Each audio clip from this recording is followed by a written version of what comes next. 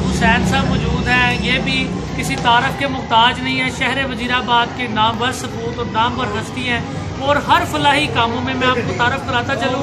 कोई भी social activity हो अरशाद साहब बढ़ चढ़ कर उन कामों में हिस्सा लेते हैं। अरशाद साहब बड़ा अच्छा मिशन है कि आप किसी को बताते भी नहीं हैं और इतना नेक काम करते हैं। और यही अल्लाह ताला को चीज़ पसंद है। क्या कहना चाहेंगे आज इस, जो आपने यहाँ पर जोड़ों की शादियों में हिस्सा डाला है? हाशमी साहब अलहमदिल्ला अल्लाह पाक ने तोफीक दी है। अल्लाह पाक ने हमें चुना इस नए काम के लिए। इससे ज़्यादा अच्छा और कुछ भी नहीं है इस महँगाई के दौर में। लोगों के लोगों के लिए मसाइल हैं, बच्चियाँ घर में हैं और उनके लिए जहेज के मसाइल और दूसरे दिन सारे मसाइल।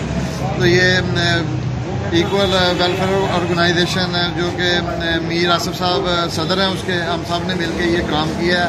अल्हम्दुलिल्लाह, ये सुनत नबवी है, ये नकाह में आसानी करें। और उसके लिए सब दोस्तों ने इसमें तावन किया है।